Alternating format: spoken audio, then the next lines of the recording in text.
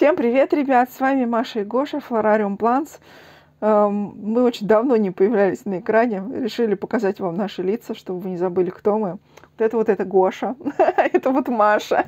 Но это не точно. Но это не точно, да. Сейчас мы с вами будем делать очередную ерунду. Пока отключусь, сейчас включусь и будем рассказывать, что за ерунду. Короче, сегодня мы будем с вами делать биорб. Биорб – это некая такая штука, придуманная немцами, как интерьерный флорариум. Задумка заключается в том, что здесь есть автоматическое освещение, которое само включается и выключается, и туманный генератор.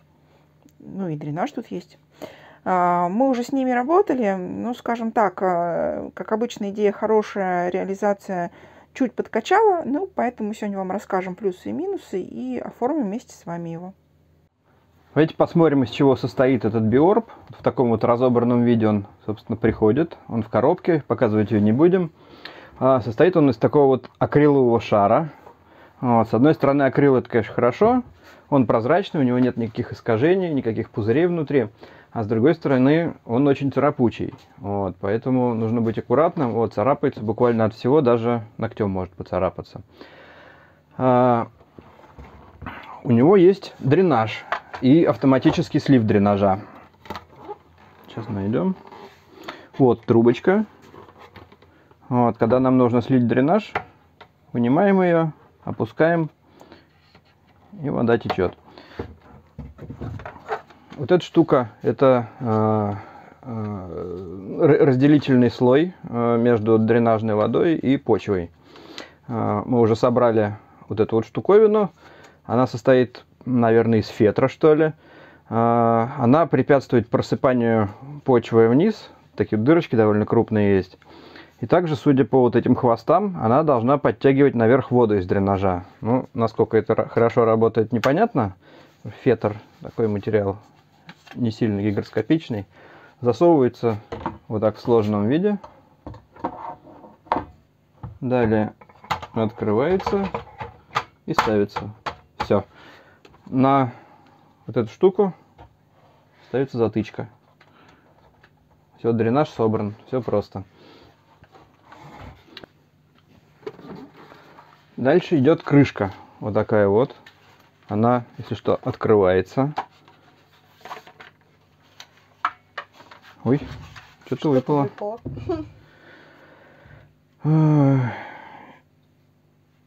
Это просто резиночки, чтобы она, видимо, не сильно терлась по акрилу.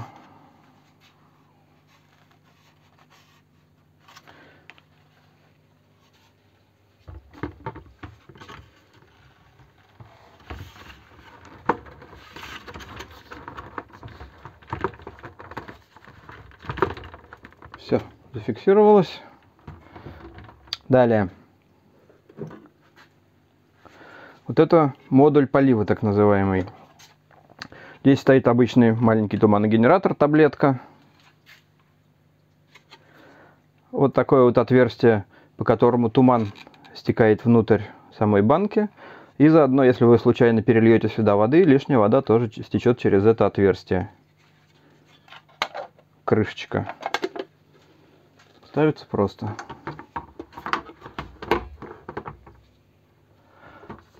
Туманный генератор э, подключается при помощи такого штекера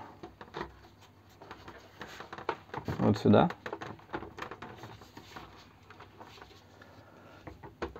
Работа его завязана на датчике влажности, который находится вот здесь и достаточно часто врет.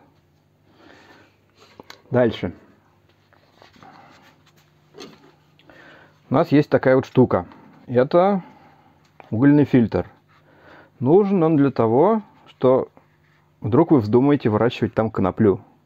Потому что для чего еще нужен угольный фильтр, я не знаю. Вот. Обычные растения не воняют. Но раз он есть, установим. Вернее, даже не так. Ставится он вот сюда. А, под ним находится вентилятор.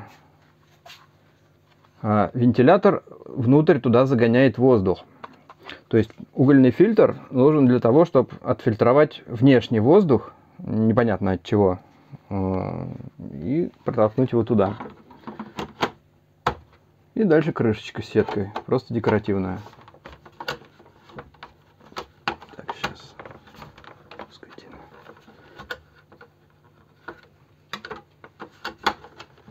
Вот, все. Если нам нужно открыть, открываем. Давайте нальем в него воды. Влезает сюда около 200 грамм. Это очень мало. 200-250 может. Все, закрываем. Далее втыкаем шнур питания вот сюда. Тут разъемчик. Свет загорается плавно. То есть там есть диммер какой-то. Вот, тухнет он тоже плавно. А, также тут есть одна единственная кнопочка. Вот, кстати, смотрите, туман заработал. При первом включении он всегда срабатывает. Дальше уже он будет ориентироваться на показания датчика влажности. И, по-моему, после открывания-закрывания крышек он тоже будет э, э, включаться, чтобы компенсировать потерю влажности при открытии.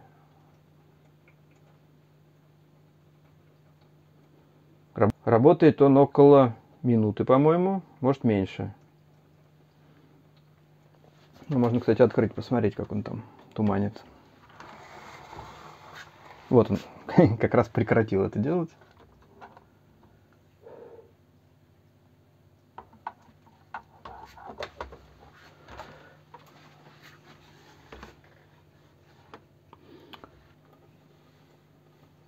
После открытия и закрытия крышки снова, да, сработал туман.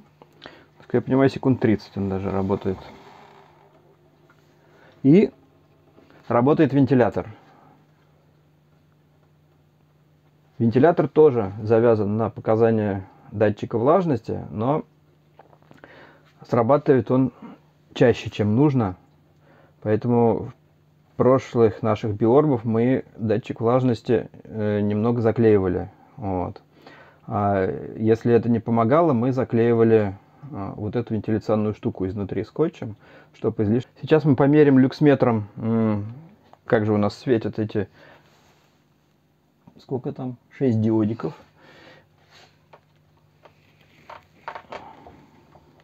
Вот кладем на самое дно. А, и, знаете, получается 2000 люкс, что, в общем-то, не, не, не, не, ну, конечно, не видно. Что не так плохо для таких, в общем-то. У тебя будет выше уровень. А, уровень почвы будет выше. Давайте поднимем. Вот так вот, например. Тут уже 3, 300, 3200. В общем, по краям. По краям 2000. В общем, вполне неплохо. То есть, э, всякие красные растения, наверное, не очень хорошо здесь будут себя чувствовать. Вот, а различные селигинеллы, стаурогины. Вот, вполне себе. Я думаю, даже альтернатера, наверное. В упаковку товарищи вложились знатно. Мы сейчас, как люди, проходящие через это, представляем, сколько это стоит. Ну, вот здесь есть всякие интересные плюшки, идущие в комплекте. Кроме вот этого дренажного отсека, тут еще есть в комплекте грунт на основе э, кокоса. Предлагается его замачивать и использовать его. Но мы будем стандартный МБГ пользовать. Еще здесь есть вот такие классные штуки. А, это просто дистиллированная вода, на самом деле. Между тем мы уже посадили, а, вернее, сделали хард, залили все это водичкой и выбрали растение. Вот здесь вот у нас лептинелла, как наименее привередливая. Вот потом а, фикус пумила минима, санирила макулата, стурагин. Ну, не факт, что мы все это будем сажать. И микросининги, которые мы оторвали от нашего сердца, потому что мы их никак не размножим.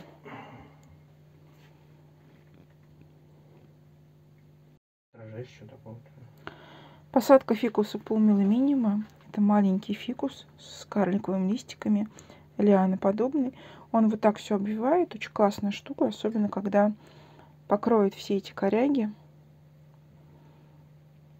И вот останется он такой симпатичный малыш. Еще здесь будет зелено.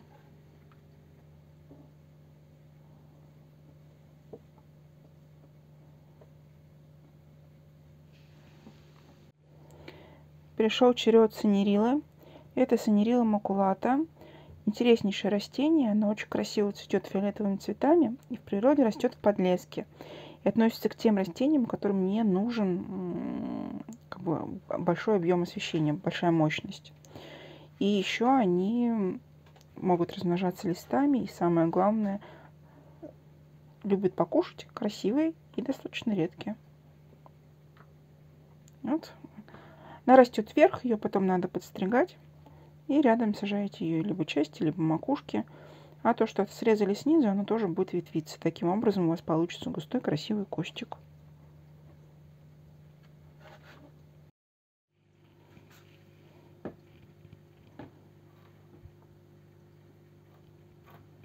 Это стаурагин репинс. Это вообще аквариумное растение, но оно может жить и под водой, и над водой. В воде она имеет более светлый цвет и вот ближе к вот такому листью. А когда переходит на сухо, она становится вот такими длинными стволами и цветет белыми цветочками.